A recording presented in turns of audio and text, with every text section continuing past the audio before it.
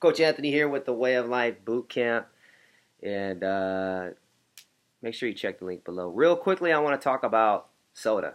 And just to get more in depth on it, I want to talk about Coca Cola, the soda Coca Cola. A lot of people drink this soda, you know, just soda in general. And I want to talk about what it does in the 60 minutes that happens once you put that to your mouth, drink it, ingest it, and it goes down into your bloodstream. Well, the first 20 minutes, what happens is 10 grams, over 10 grams of sugar go into your system.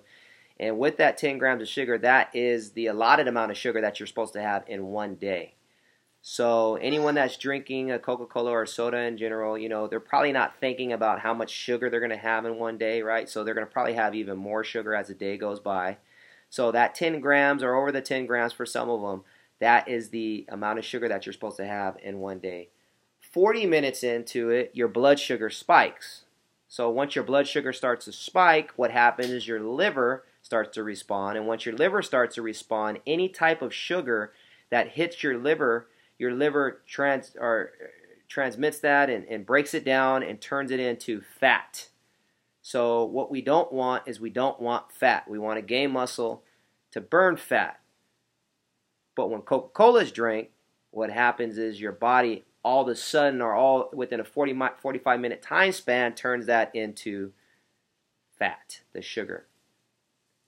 60 minutes into it or about about 45 to 50 minutes into it, what happens is your body starts to turn that caffeine. What happens is that caffeine hits the body and turns into what happens is it starts to dilate your eyes. You start to have a little bit more energy, um, but it's not a healthy type of energy. It's an edgy type of energy that it can turn into.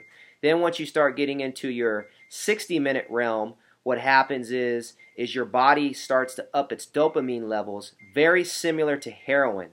And when we're talking about drugs, heroin is probably one of the hardest drugs to kick, right? And so I wonder when these whoever these whoever made Coca-Cola and set this up, I wonder if they were really thinking that. I'm pretty sure that they were because it's all about money and it's all about uh, wanting to, you know, get people caught on or uh, addicted to things so you can continue to go back and buy and buy and buy. And Coca-Cola is a billion dollar business for a reason, um, but it definitely does lead to uh, death uh, for sure diabetes and all those types of things. So if you are drinking Coca-Cola, I'm not pointing my finger at you. I'm just giving you some information on it um, in hopes that maybe you'll think about it and maybe you'll make a change, you know? Um, and so this is what Coca-Cola and or soda does. You have a great day. This is Coach Anthony with the Way of Life Boot Camp.